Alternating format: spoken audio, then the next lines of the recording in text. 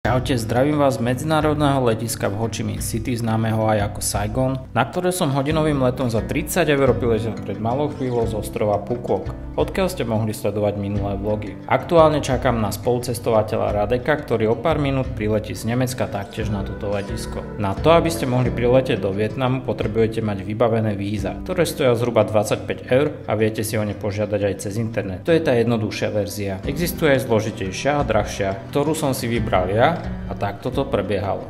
Som práve pred vietnamským konzulátom Siano chvíle. Tu môžete vidieť, že tu sa robia víza, teda respektíve nemôžete, alebo taký je tam vysušený nadpis, že tam nie je nič vidieť. A takto vyzerá brána. Normálne sa neviete dostať dovnútra.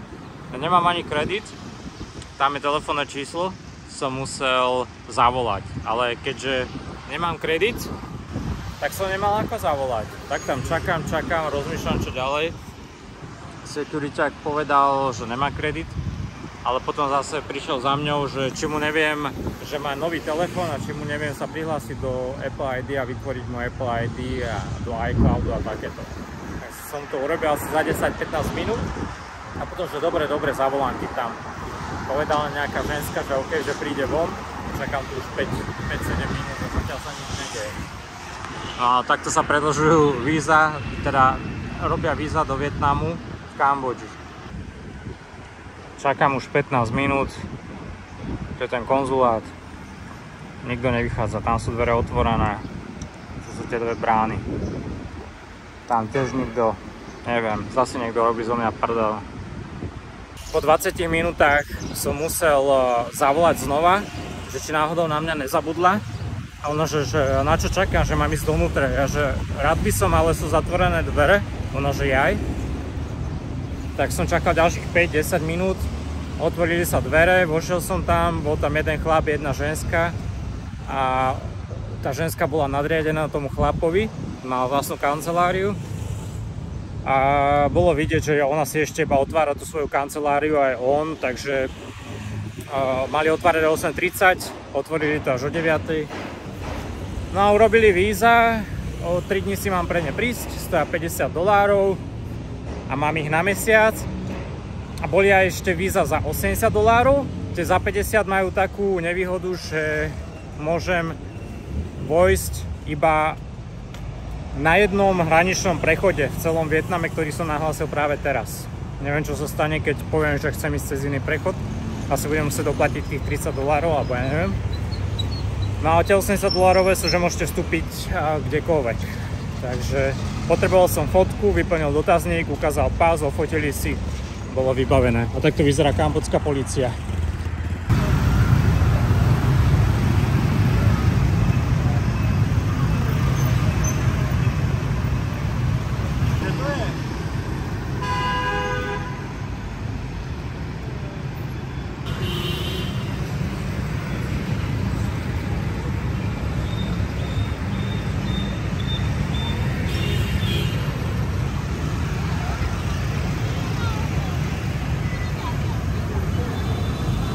Teraz ak sa to rozbehne tuto.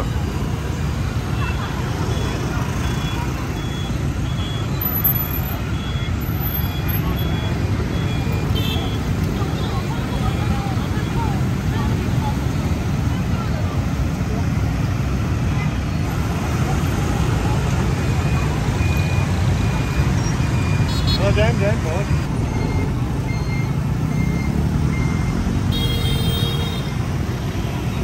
Ty vole, to je trošku viacej skutristov. Aj dvojmesačné miminka tu lietajú na skutri. A tu je Walking Street. Ideme s Radekom na Walking Street. Mal by to byť celkom... Uh, skoro som dostal facku dverami od auta, niekto vystupoval, skoro ma plesko. Ideme to tu preveriť, aké sú ceny, čo sa tu deje trošku bokom od tejto hlavnej cesty plnej skutristov. Tu máte ceny masáži. Ceny masáži a život na ulici. Športový bar Champion Sport. A naložení turisti, ne? Jasné. Tu je masáž. Ideme sa nájsť do bočnej uličky. A to reštaurácia. Radek si vyberá bočná ulička. Tu typci hrajú Playstation a táto skupinka tu má vedľa PlayStation a telku a hrajú PlayStation na, rovno na ulici. Tak sme na Walking Street v Saigone v centre mesta. Ak, ak chcete hľadať centrum, tak choďte, jak sa to povie, choďte, bol som trošku osvietený a ožarený a zaskočený. Choďte na uh, Direct, jak sa to povie, Division 1 alebo Direct 1, také niečo. Húrňa, neviem prejsť, odrezaný som. A Vietnamci hrajú futbol s Tajskom, nejaké finále nejakého pohára. Wow, ty kokos, tak až, že by až toto bola tá Walking Street. A Rádek tiež kameruje. Kámo, tak to je život, to je veľa ľudí. To mi povedal, že toto je nejaký Vietnam.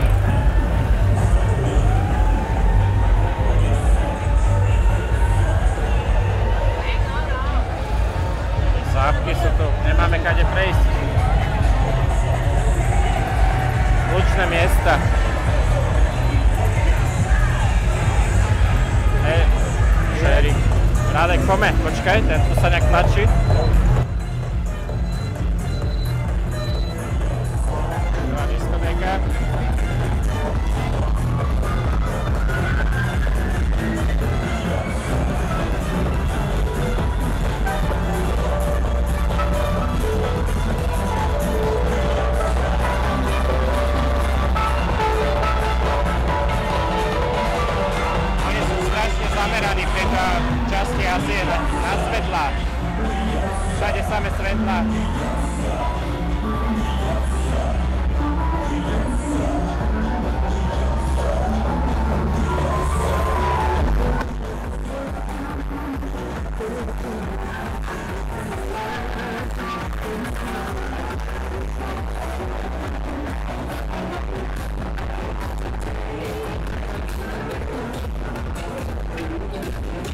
sa ani rozprávať, aj tak nemá z toho sa.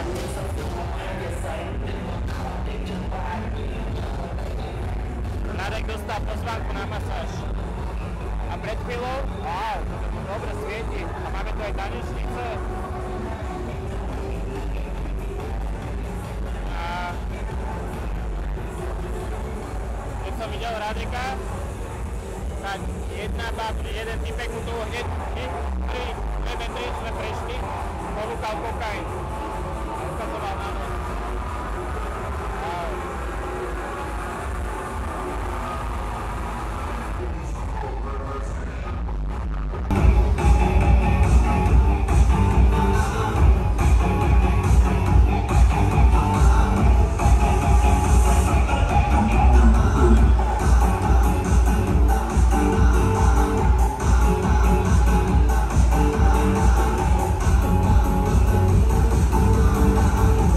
Priznám sa, nechápem veľmi, prečo baroch juhovýchodnej Ázie púšťajú až tak veľmi škodlivo hlasnú hudbu. Áno, chápem, že čím hlasnejšie, tým väčšia je pozornosť daného baru, ale nie je mi jasné, aký druh zákazníkov dokáže v takom bare sedieť dlhšie ako 5 minút. Okrem hlasnej hudby a otravných drogových dílerov sú ďalším negatívom tohto miesta namajstrovaní sekuritáci, ktorí majú pocit, že sú páni ulice, čo u vás budzuje pocity vysokého nepohodlia a mafiánskych praktík. Ja mať bar tak sekuriťakov ako zákazník ani nevidíte a na scénu by prišli iba v prípade nejakého problému. Tuto funguje inak. Prechádzajú sa tu, hádžu ramená a vražené pohľady. Dokonca som bol svetkom, ako traja z nich byli istého okolidúceho, ktorého dokončili kopaním na zemi. Ďalším neduhom tejto ulice sú otravné biznismenky, ponúkajúce svoje osobné konzultácie, ktoré by som rozdelil na dve skupiny. Tie, čo to hrajú na masérky, väčšinou ženy nad 30-35 rokov, tie vám odovzdajú svoje izbové know-how za zhruba 30 až 50 dolárov a potom tie, čo masáže nerobia. Jedna sa väčšinou o mladé ženy, tu rátajte so sumou 80 až 250 dolárov. Nakoľko veľká časť týchto peňazí ide baru a konzultačnej bordel mame. Taktiež rátajte s tým, že ak vyťahnete kameru, tak sa automaticky stávate úhlavným nepriateľom celej tejto pouličnej komunity,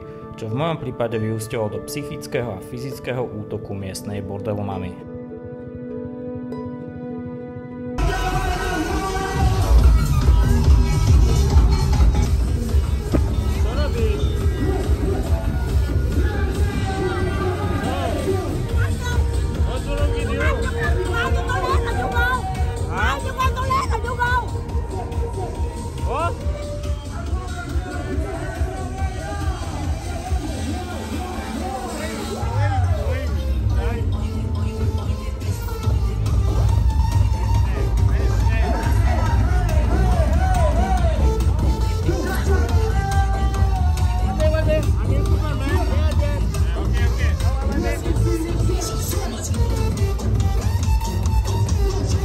Sme Saigone a teraz vám ukážem, ako vyzerá dvojizbová, dvojspalňová apartmán za 30 dolárov, 31 eur, no 31 dolárov. Tu je posteľ jedna, stol pracovný, tu máte výhľad, veľké okna.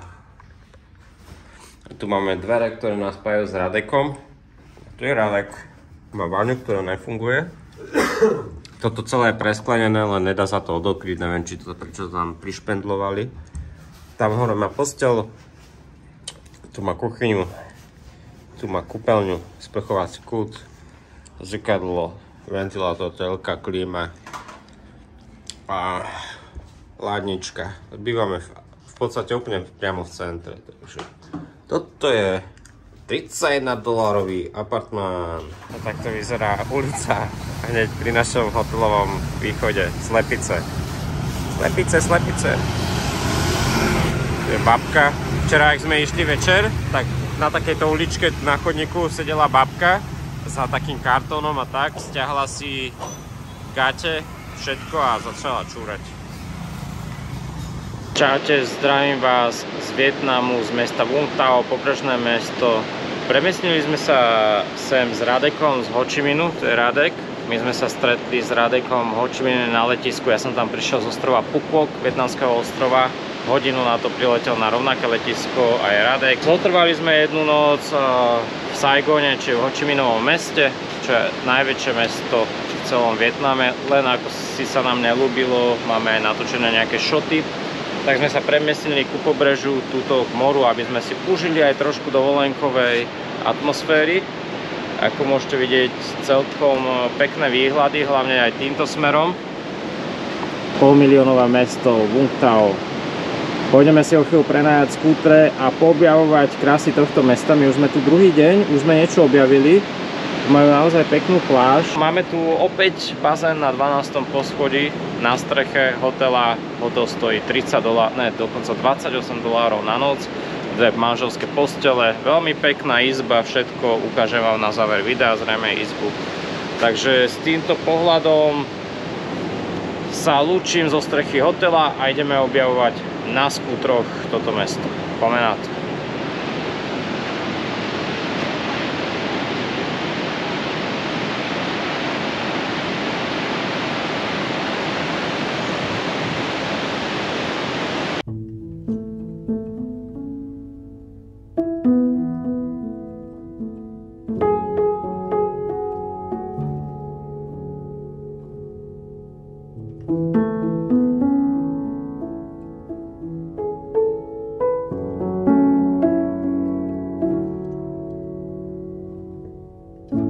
This is stalemate, ceasefire and a freeze frame. I get this feeling a lot.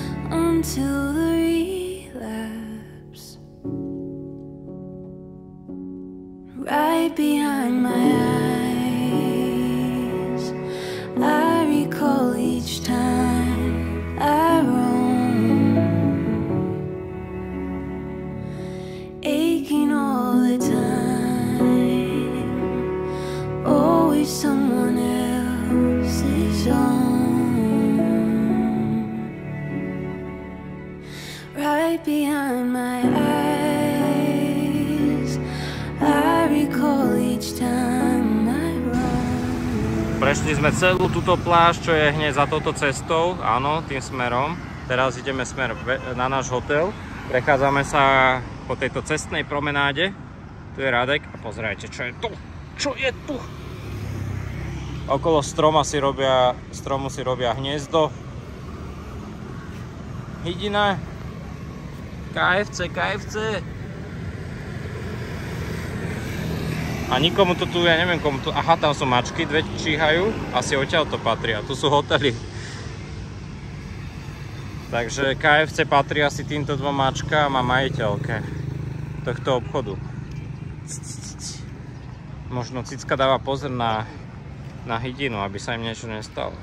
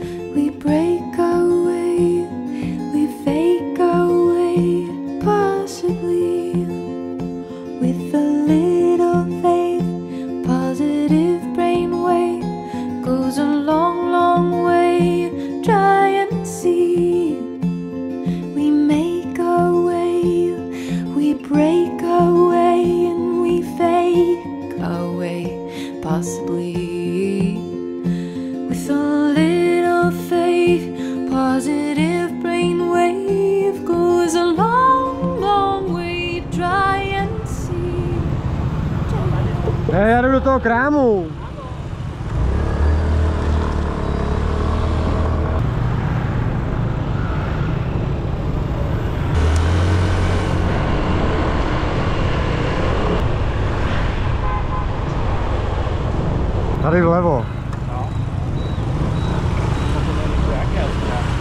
Nevím, jezdí jak blázni, jeď.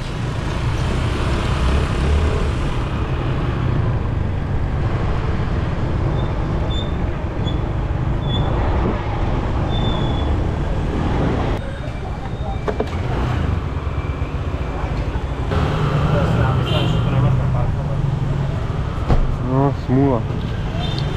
Ale mu nechávám tady. Rýchlo to iba? Jo, ještě si vyzkouším, který chci.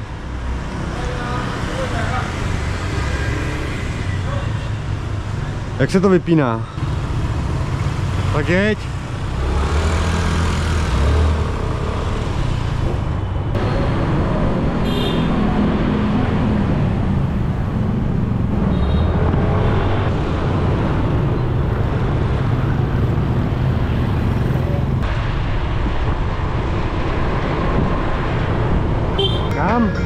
Tam nebo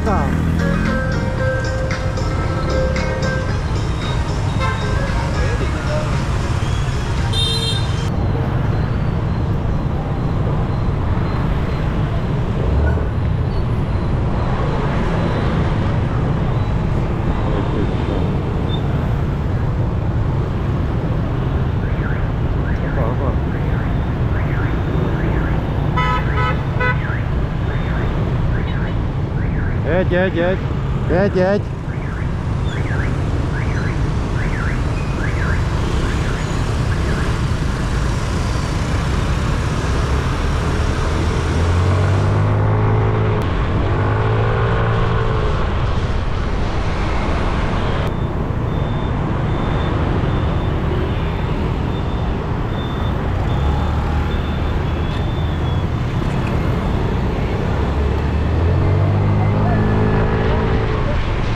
Tady?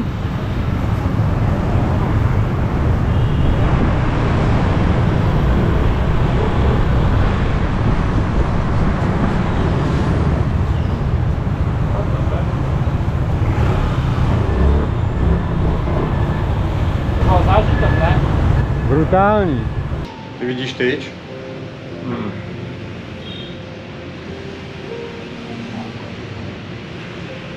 Jak chceš, no, ale já, za mě bych si koupil telesin za 400.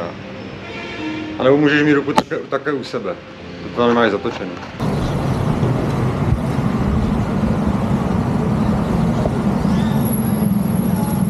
Není to až tak moc vysoko, že by to mohlo niečo zachytiť hore, ne? Tak, zapnu tu kameru. Většinou stačí iba tu dať, hore. Za to spáčať hore. Počkej, já se podívám. Nahrává. Snaž si být rovně.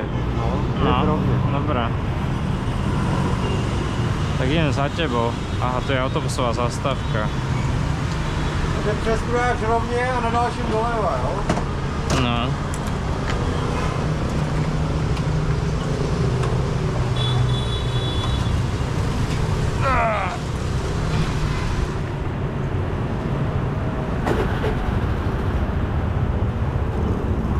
Zas ty to máš? Musíš dávať plyn. Drž brzdu a dávaj plyn.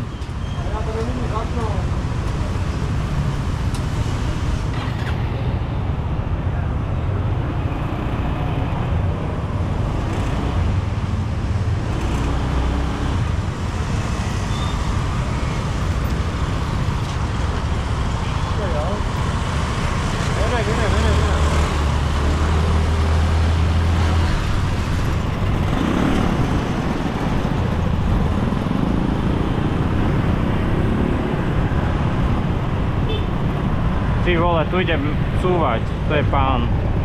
Takže zhrňme si to. Táto kamera nemá síce najostrejšie zábery, ale jej obrovská výhoda je, že natáča všetko. Čiže ak sa deje niečo zaujímavé okolo vás, ako napríklad keď vás Radek obieha, nemusíte tam mieriť kamerou. Táto kamera robí túto prácu za vás. Ale pome teraz šoferovaniu na skútri. Tí, ktorí sú tu noví, zrejme netušia, že toto je môj vôbec prvý deň v živote, kedy šoferujem skúter či motorku sám a v cestnej premávke. Naposledy, kedy som niečo podobné šoféroval, tak to bol môj detský bicykel viac ako 20 rokov dozadu. A prečo nezačať a neučiť sa rovno na jednej z najhustejšie zahltených cestných premávok na svete, ktorými tie vo Vietname jednoznačne sú. Taká menšia štatistika. Vo Vietname až 85% domácností vlastne aspoň jeden skúter či motorku. A celkovo ich narátate až takmer 50 miliónov. Aby ste si užili aj vy atmosféru skutrovania v tejto krajine, pridávam niekoľko autentických záberov z jazdy.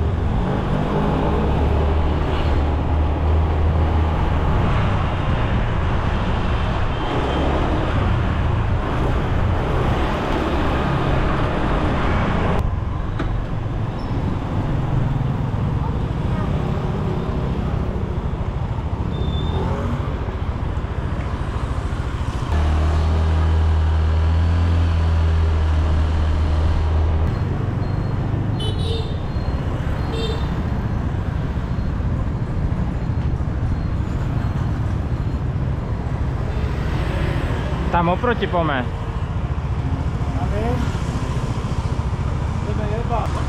Oh, camera. Yeah, I think they're open. yeah. Go there. Uh, we first high camera. Yeah. Well, you have to put the camera away. Yeah, yeah, that's what we want to do now. Já to vypnu, jo? No. Money or something. Always with you. Uh, And about this stuff, I'll put something expensive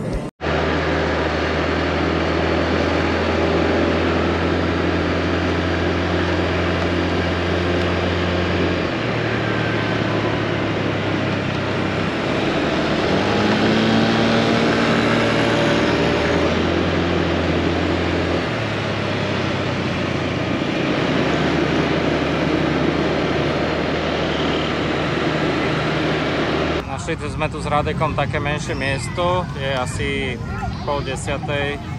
Veľa Vietnamcov sa tu baví, tu hneď naľavo je pobrežie, pláž a oni budú čoskoro oslavovať nový rok o týždeň. A pozrite, čo tu všetko majú. Takéto osvetlené stromy. Mačky. Oni majú radi zrejme tiež mačky. Aziati majú radi mačky. Tu ďalší obrovský strom, pozrite koľko svetelil je na ňom. Máme my takto, len tento strom podľa mňa prekonal všetky naše rekordy. Toľko to svetielok, kámo, na jednom obyčajnom strome.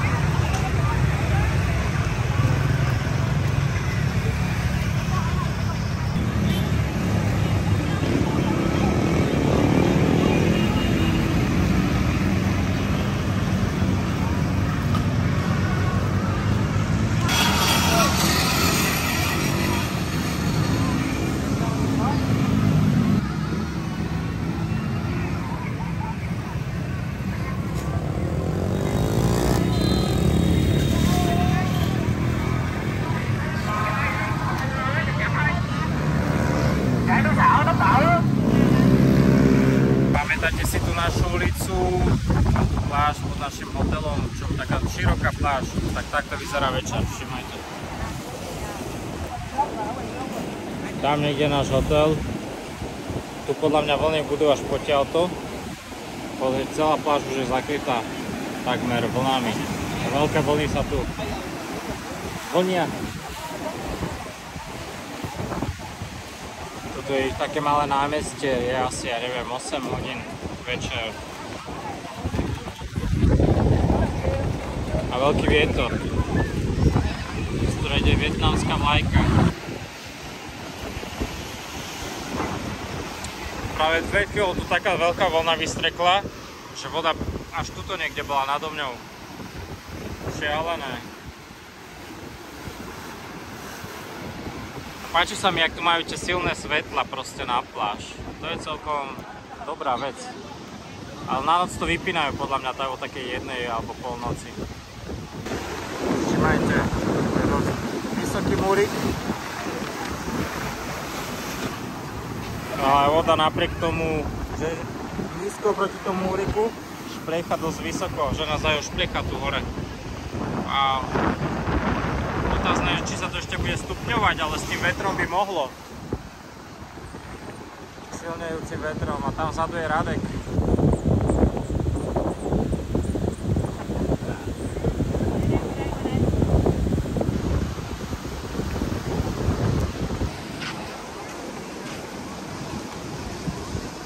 Čo, ideš si zaplávať?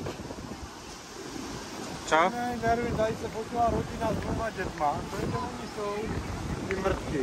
A čo urobili? Táta, máma a dvě děti. Týpek se fotil tady nahoře, táta, jejich, a tam flašku hodil také na zem. Hej? Rodina to nechala být a odešli fotit se nechali to ležet. Já zase to fotím od jak to sebere, tak Asi nevedia, že tá flaška nesnie tak skoro. Zmrdivé. No, to je pekné, pekná fotka ako. Páči sa mi veľmi, jak je to tu osvetlené, že? Tie vlny. To málo kde som takto videl.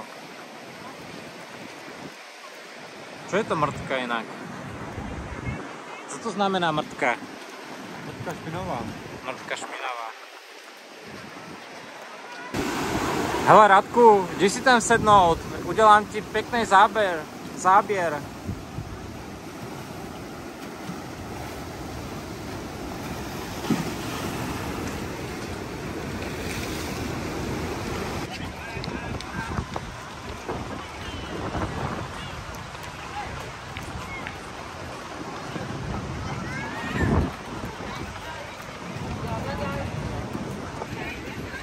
Tak Radek aspoň aspoň sa stane na dnešný večer fotografom vietnamských dievčat.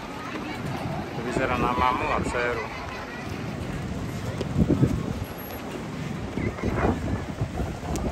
Dneska práca. Dneska práce, Radku.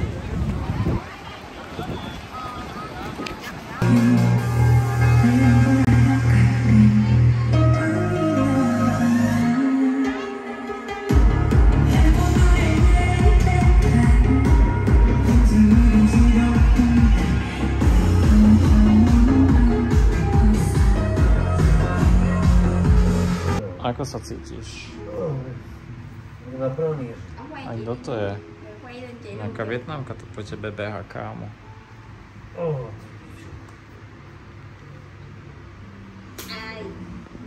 Hej. Hm. Kamera shy. Oh. Yes, beat the shit out of him.